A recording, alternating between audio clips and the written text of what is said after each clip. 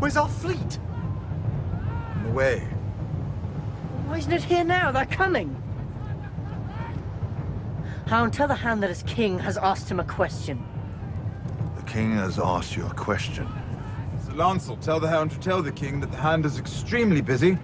The hand of the king would like me to tell you to tell the king If that... I tell the hound to cut you in half, he'll do without a second thought. That would make me the quarterman.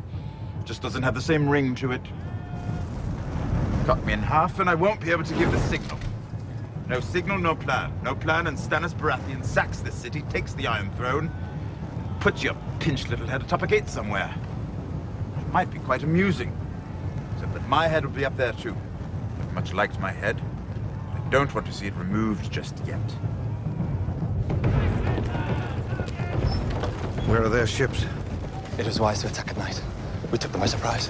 Lord Varys knows what you had for breakfast three days ago. There are no surprises here. If it's true there's dissension in their ranks, maybe their sailors have mutinied. Maybe.